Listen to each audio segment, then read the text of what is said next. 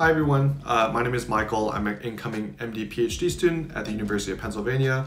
Um, I recently graduated from Caltech uh, with a bachelor's in physics, and today we'll be walking through my AMCAS application during the 2020-21 cycle.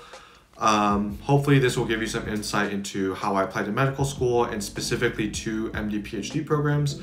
Um, and you know, if you're a current applicant or someone that is going to be applying to medical school, school soon, um, I hope this will be a helpful resource for you guys.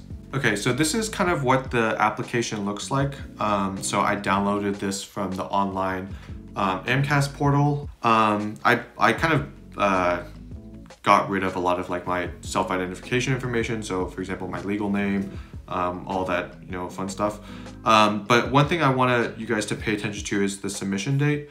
Um, so it's really important that you submit your primary application, which is this whole thing here, um, as soon as possible. Um, so I think for us, it like the portal opened up like May 28th or something of, of 2020. Um, and I, you can see I kind of submitted it the, uh, the day after.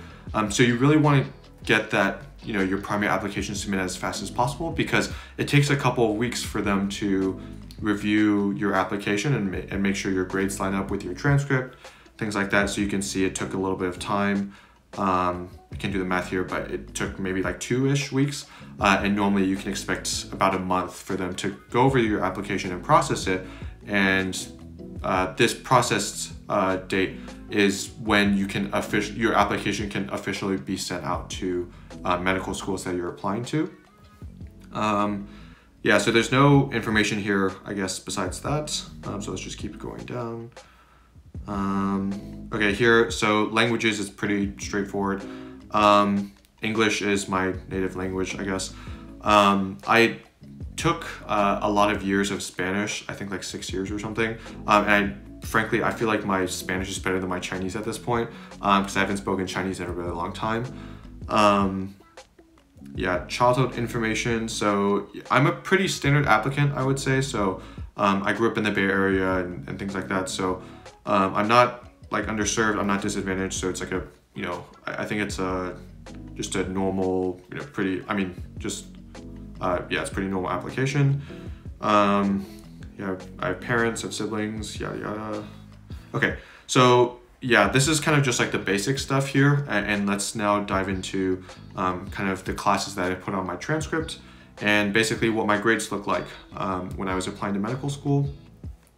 Um, so you can see uh, right off the bat, uh, I only took uh, classes at Caltech. Um, so just as of some background information, I didn't do any post-bac programs.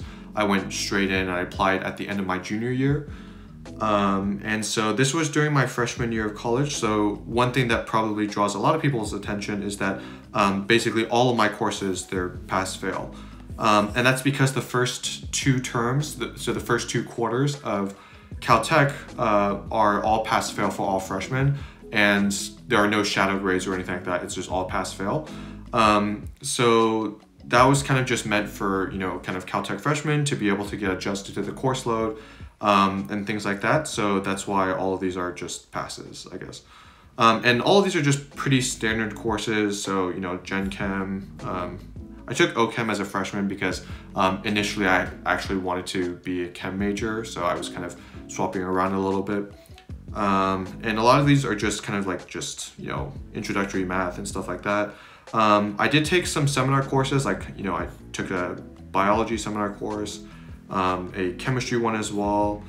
Um, and yeah, these, these are just pretty standard. I wouldn't say I did like particularly well in these classes. I think I had some adjustment phase as well, um, but it was just pretty standard. Um, so you can feel free to pause the video if you want to take a look um, at this stuff a little bit closer. Uh, but just moving right along. So freshman year, uh, spring quarter uh, is when is the first time that we basically had uh, basically grades uh, for Caltech. Um, so you can see most of these are just, uh, so I got mostly A's. Um, these are just, these classes were only offered on pass fail, so I didn't really have an option there. Um, and yeah, just, you know, just finishing up my core requirements, uh, finishing up my physics coursework, physics lab, all pretty standard. So uh, freshman year, that, wasn't really too interesting. I think I was just getting a lot of my core requirements out of the way. Um, in sophomore year, so I had already declared as a applied physics major um, at the end of my freshman year. So going into sophomore year, I knew that that was what my major was. Um, you can see, you know, I was starting to take more advanced uh, physics courses. So for example, this was a advanced physics lab. Um, this one was a, a physics course uh, intended for physics majors. Uh, so I was taking that during the fall of my uh, sophomore year. Um, I also had no com uh, computing experience at this time. Um, so I wanted to, you know, basically learn some programming and stuff like that. So I took Introduction to Computer Programming. Um, again, it was only offered on pass-fail, so I could only report pass-fail. Um, typically, this was a freshman class, so I was a little bit behind, but I still wanted to learn a little bit about CS. Um, and I, you can see, so going into winter quarter, um, I, you know, continued with my courses. Uh, did pretty okay, I think. Uh, and then I continued with CS because I really liked CS1. Um, and then spring quarter, uh, I started to, you know, starting to think about kind of my, um, you know, pre-med uh, prerequisites and stuff like that. So I, I took, for example, like, um, like the intro to cell biology class um, and things like that. Um, and again, continuing with like uh, more advanced like CS courses uh, and also like physics and stuff like that. I also took PE as well. That's not important. Um, cool. So that's the end of my sophomore year. Um, again, I think my grades I did pretty well. Um, I tried to keep them up, and, and you know I always thought academics was super important. Um, so I tried to you know really work hard on you know keeping my grades good. Um, okay, so junior year, uh, so this is where a lot of like the, I started taking graduate courses for, you know, in major specific courses.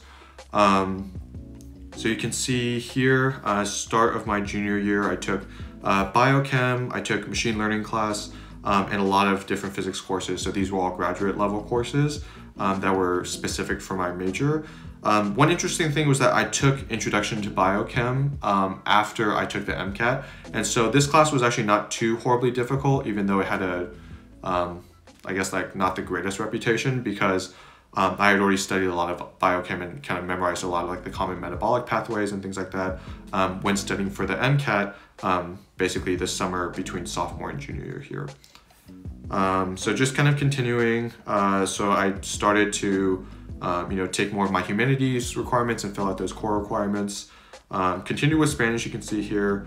This one was actually not obligate pass-fail, but I chose to pass-fail it anyways because um, kind of like the other coursework that I was focusing on uh, was pretty difficult. So like, for example, these two classes, that was really difficult um, that quarter.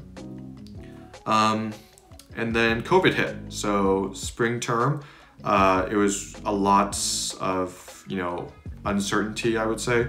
Um, so again, Caltech is on the quarter system. So uh, basically, when I sent this application out in May, um, the spring quarter actually ends in the middle of June for us. So that's why a lot of these are marked current and future uh, because I had no grades to report at that time. Um, but kind of like I, you know, through this quarter and basically just the rest of, um, you know, my time at Caltech, uh, just kind of continue like the same general um, GPA trend so you can kind of fill in the blanks here. Um, and yeah, these are just kind of the courses I took. Um, if you guys are interested in learning more about these courses, just feel free to let me know. Um, but I'm just gonna kind of scroll slowly if you wanna pause the video and take a closer look. Um, yeah, so that's that's kind of the end of my coursework. Cool, yeah, you can see my high school there, I guess. And um, again, I didn't have any post-bac programs, so I didn't like transfer schools. So um, I just had one um, undergraduate school at Caltech. Great, and then you can see this is my um, GPA. So this is basically my kind of like science GPA, uh, humanities, I think GPA, and then like the overall. So it's pretty consistent over four years, which was um, or I guess three years here because they don't have senior uh, here. But um, yeah, and that's that's my GPA. Um, MCAT is also here, so I took the MCAT once, um, again between the um, sophomore and junior year, um, so that summer, and I scored a 520. So I was really happy with that score. I didn't choose to like retake it or anything like that, so this is kind of like my score. And um, I was in particular really happy about the bio section. um, because I remember kind of going into into like the application process. Um, I had taken a lot of like advanced physics coursework, but um, frankly, I felt like a lot of like the standard like biology prerequisites and like you know taking like introduction to anatomy, you know like neuroscience or psychology. Um, I I didn't really take a lot of those like fundamental courses I think during Caltech, so um, having a good biology score I felt like kind of made up for that. Um, ironically, I, I didn't do as well as I had hoped um, on the physics section. I'm, I'm still really happy with the score. Um, it's just I thought I, I because based on like practice tests I was I was taking, um, at the time I thought I was gonna do better. But you know, again, I can't complain here. So, um, yeah, and I didn't take anything before 2015. So, okay, cool. So that's kind of like the basic stuff, my GPA, MCAT, stuff like that. Um, now we're diving into the activity section. So for a little bit of context, um, you can fill up to 15 different activities, three of which can be your kind of like most meaningful activities where you can elaborate on why they were meaningful to you and why they specifically encouraged you to pursue medicine. Um, you're by no means obligated to fill up all 15 activities. Um, I I did because I felt like I had a lot to say and I wanted to include on my application. But um, yeah, most people I think don't actually fill out all 15. Um, so, and they're also, um, I forgot to mention, they're also listed from most recently started to least recently started. So it's not listed in terms of like most, it's not, it's not presented in terms of like, uh, you know, most meaningful first or anything like that. Um, so you can see here, um, I included just a section of like honors, awards, and recognitions uh, that I received from Caltech um, in other places. So this was just, I, I kind of blanked, I, I, I, scratched out a lot of like the experience descriptions. Um, but you know, here was just, it's a pretty straightforward just description of like all the things that um, I received at Caltech um, and during college.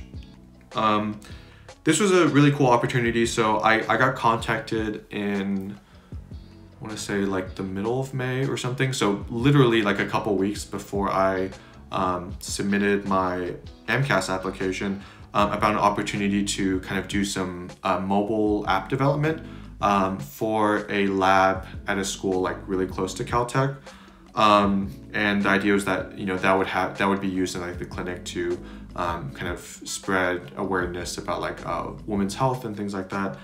Um, and so that was really cool because I I was really interested in kind of using technology and um, you know computing and stuff like that um, to solve uh, like clinical problems and and you know kind of combine that with medicine. So this was a really cool testament to that. Unfortunately, you know, I, I started pretty late um, for that, but I still wanted to include it because I felt like it showcased a really important component of of like who I was as an who as an applicant. Um, continuing, so uh, yeah, I, I was a student volunteer, uh, so I, I worked with um, a couple of like kids, or, like high school students around like the uh, Caltech area, and basically we worked with them like after school to like teach them like math and science and help them with their schoolwork. Um, so that's been a lot of fun. I'm still doing that right now, actually. Um, yeah, uh, so I shadowed at the City of Hope, um, which is like a 15 minute drive um, from Caltech uh, during the summer between my sophomore and junior, uh, yeah, sophomore and junior year. Um, so at the same time that I was studying for like the MCAT and things like that. Um, this was a really cool program because it introduced me to like academic medicine, and that's the time when I really knew I was going to pursue MD PhD. Because um, just that experience was incredible, and um, you know this opportunity was actually set up through a collaboration by Caltech. So I just applied with Caltech and then, you know, I got into the program. So that was really cool. Um, I I guess I used to be a ballroom dancer, so I don't think I was really good at it, but um, I really did enjoy it during um, you know my time at Caltech. I think I started around like the middle of sophomore year, I think, uh, which was really cool. Um, I'm mostly into like Latin ballroom if you guys are interested, um, and so yeah, I wrote a little bit about that. Um, let's see. So teach. So yeah, TAing. Uh, so teaching assistant. That was one of actually my main, um, most meaningful description. Uh, most meaningful activities. Sorry. Um, so you can see that I had some, you know, extra long essay on that. Um, and that was really meaningful because I basically TA'd since like every term since the middle of my sophomore year or something. Um, and that really helped me kind of explain concepts, very difficult like science concepts, um, to a wide variety of different students. Uh, which was something I, I, actually really struggled with in the past. Um, so through the process of like holding office hours and recitations, I think I learned how to better explain topics um, to different types of people. I think that uh, you know it, doesn't directly tie to medicine, I guess, but it was really helpful because I now know how to like explain really difficult top topics to like patients and things like that. Um, at least that's the hope. Um, um, yeah, so Dean's tutoring. So uh, this was a program that if you did particularly well in class, um, you could basically tutor other students that were also in that class, that taking that class like next year or the year after or something like that. So I, I was a dean's tutor for like a couple of different courses at Caltech and just worked with students like one-on-one to like help them through courses that I'd previously taken. Um, yeah, I, I also shadowed um, at the Huntington Hospital, which is just like a, it's a private hospital, it's pretty big, um, like maybe like five to 10 minutes from Caltech. Um, and that was really cool. So that was like kind of like one of my first exposures to kind of like clinical medicine. Um, um, at that time, I was still kind of debating on whether I wanted to do medicine as like a, um, so you know, this was really helpful and kind of like exposing me to like many different uh, fields of medicine. We got to see like you know even like stand over like the operating table and things like that. Um, and again, that was kind of that was a program through Caltech, so I was really grateful for that. Um, this was uh, the second most meaningful activity. So um, basically, a couple of friends and I we co-founded a medical nonprofit called Atria Connect.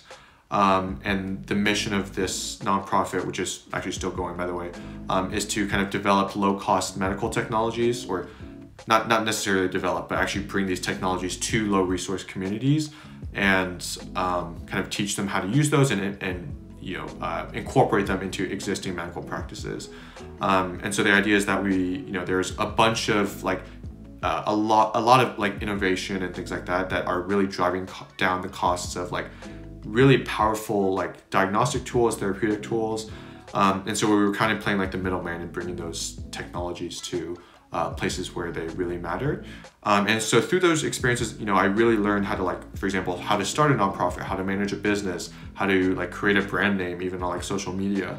Um, I even got the opportunity to go to Haiti for a couple of weeks to actually incorporate, um, you know, kind of like some of like these medical tools um, to, you know, to, to a clinical practice in Haiti. So that was a really cool experience. Um, still really enjoyed it. Um, yeah, so um, so MedLife was a club at Caltech I was really involved in since basically the start of my freshman year. Um, so I wrote a little bit about that. It, it was kind of like a volunteering community uh, club. So that was, yeah. Um, I was also, uh, so I was an associate editor in the Caltech Undergraduate Research Journal um, since my freshman year. And I had recently been promoted to editor in chief for my senior year. So kind of like right now. Um, uh, starting kind of like in the spring of my junior year. So um, yeah, I wrote a little bit about that. That was great. Um, so this, so I was a um, student body representative. I, I kind of represented um, like kind of all students in a particular like an academic um, research committee. Uh, so you know, it's basically student led at Caltech. Um, I only did this for the first two or three years of college.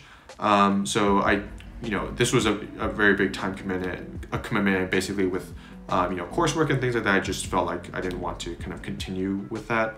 Um, so that's why it's only, I didn't last the whole time. Um, and yeah, so my research experience was probably the other big thing.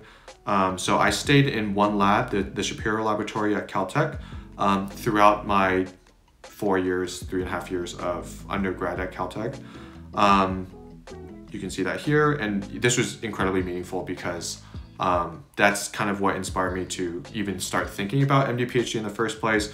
I was working on really cool like technologies and using physics and uh, computer science and biomedical engineering, um, all these different principles to solve transla translational medicine related um, research questions, and that was super cool. Um, so I really appreciated that experience. Yeah. Um, was a varsity swimmer on Caltech swim team. That was only for one year. I only did that freshman year because just because of other academic priorities, I decided to stop. Um, but I, I swam since, you know, for over like 10 years. You know, I swam competitively um, in high school and middle, middle school, stuff like that. So, um, and the last one, so this was actually a high school experience. I didn't, you can see I, it actually stopped uh, before I matriculated to high school, but this was a really cool opportunity. Um, I basically worked at a research lab at UCSF um, for about two years of high school, um, working on like kind of like stem cell technologies, um, CRISPR, Cas9, stuff like that. And that's what initially got me really interested in um, kind of research in general. Um, I kind of knew the type of research that I wanted to do from this experience. Um, and yeah, so that's kind of like the 15 activities that um, I included as a part of my AMCAS um, application. Uh, so you, yeah, take what you will from that. Yeah. Okay, so now we're diving into the um, essay section, I guess. So to give you a little bit of context, every applicant, whether MD or MD PhD, they have to write an essay that basically talks about, um, you know, why do you want to become a doctor? Um, and so this is like this main essay here that again I've kind of taken out. Um, I didn't include like the actual essay, but basically the idea behind it was that um, I initially kind of came to Caltech thinking that I wanted to pursue um, kind of just a PhD route. Uh, route. I didn't know that I wanted to do the MD until kind of like later on in the process. Um, and so it kind of took a unique approach because most people, um, I think, you know, they they're very um, they have like that hu- human side, I think, of medicine, like what it means to be human. Um, and that's what initially encouraged them to become a doctor. Um, for me, I was very kind of like theoretically based, and you know, I was very analytic, very mathematically inclined, um, and so I didn't discover that, you know, that part about using those scientific skills to actually like save human lives, like that. I didn't kind of like really discover that until like really later on in the process, and so my essay was really about that like process of discovery of figuring out exactly what I want to do with those technical skills that I was learning at Caltech. Um, and that was kind of why I wanted to become a doctor. Um, okay, yeah, so that's that's that essay here. It just continues there. Um, the MD PhD essay, so that's specific for MD PhD applicants. Um, again, MD applicants only have to write this top essay. Um, so this one is about a 3,000 character word s 3,000 character essay, sorry. Um, so it's a little bit shorter, but this is basically asking like, why do you want to become a physician scientist? Like, why do you want to pursue the MD PhD specifically? Um, and so this one, I, I kind of took a similar bend, uh, you know, similar story about this. Um, so I used a different kind of like situation as I used for this one, but um, basically it was talking about um, kind of like a lot of like the similar themes. So um, I used an example of like a specific example of when like knowing those rigorous like physics and uh, math based stuff um, actually did make an impact in the clinic. Um, and that was really cool because I could uh, see the connection of like, for example, like chaos theory that I learned in like classical mechanics and how that could actually be used to study like complex, uh, you know, lung anatomy and stuff like that. Um, so those eye-opening experiences were what really drove me to um, kind of pursue the MD PhD. Um, and frankly, a lot of like the experience I had shadowing at the City of Hope combined with my um, research experience in like the Shapiro Laboratory, there's just a lot of different factors that uh, made me convinced that I was pursuing the path that was right for me. Uh, research hours, so you can see I, I, put in a lot of research hours um, over the past like four years. It's a lot of it was you know it i really considered myself like a part-time student part-time researcher i think. Um, i was easily working like 20 hours a week um, in lab um, mostly on a volunteer basis so it's like you know unpaid and stuff but uh, really it was a hassle to kind of like balance like you know coursework and you know school deadlines and clubs and all that stuff social life um, with actually you know doing you know research and stuff and um, that's kind of the part that's like um, you know, it's really difficult because I think like um, getting that balance, you really need to love the research that you're doing if you're able to put in like this insane number of hours. Um, and finally, so this significant research experience essay, um, it's a 10,000 character essay specific again to MD PhD applicants. Um, and this one's just talking about like what is your research about. So um, if you remember from the activity section, I, I really only had two research um, labs that I was part of. So the Shapiro lab at Caltech and also the, the UCSF lab as well during high school. So because there's only two labs and there's like a, this is like a 10,000 character limit. So I could really go in depth on like, why did I do this and, and that and something like that? And what were the broader implications of like the research that I was doing and give a lot of like context and explain like the research. So um, I was really appreciative of that. I think sometimes that 10,000 character can be difficult if you worked in like five different labs uh, that you know you're trying to fit all of that information there. Uh, but yeah, that, that one was actually pretty straightforward because that you just talk about your research and you know if you're applying MD PhD, it's not it's not too bad. So you see, it's a really long essay. Um, cool. So that's kind of like the three essays. So remember, it's the um, why do you want to be a doctor? Why do you want to do MD PhD specifically? And what is your research like? Um, so here comes the letters of evaluation. Um, so, uh, sorry, letters of recommendation.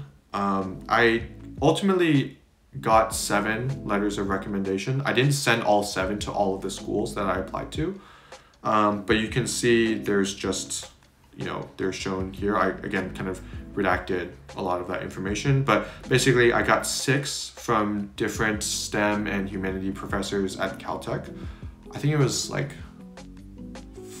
uh, was it like five STEM and one humanities, or maybe four STEM and two humanities, or something like that. And then I also got one from uh, a doctor that I worked really close with uh, when we were like working together on Atria Connect. Um, yeah, and you can see like uh, some of them I sent to a lot of schools that I applied to, um, and then some of them I didn't really send too many. So, okay, so now is probably like the interesting part that you guys are you know probably really waiting for this. Um, so basically, what schools did I apply to? Which schools did I interview at? Which schools did I get into? And stuff like that. So I think I applied to. I sent out my primary application to 25 programs. I think they were all MD PhD. Um, looking at it now, maybe I sent it to 26 programs, but I felt like it was 25. So it's, it's somewhere around there. Um, so again, they were all MD PhD. I knew from the onset I was going to apply only to MD PhD programs.